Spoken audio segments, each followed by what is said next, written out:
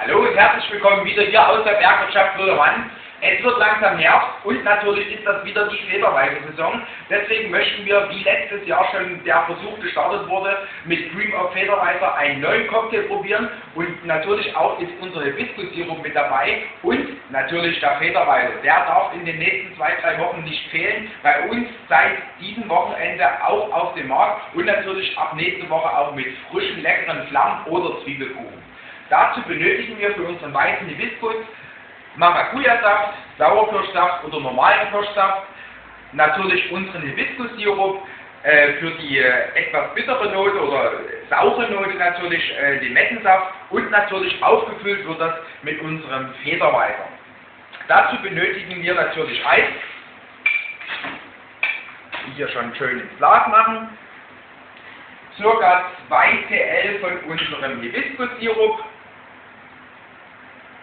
wie gesagt, nicht zu viel, denn unser Federweiser hat noch jetzt eine sehr starke Restsüße.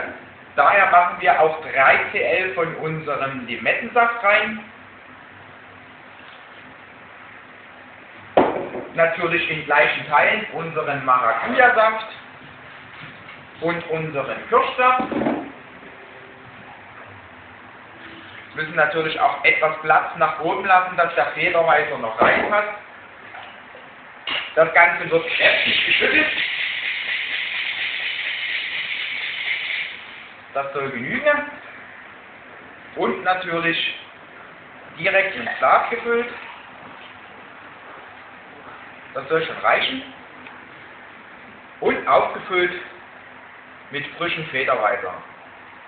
Je nach Belieben kann man dann, wenn der Federweiser jetzt eine Woche schon her ist oder man etwas länger zu Hause stehen hat, äh, auch etwas mehr Sirup nehmen.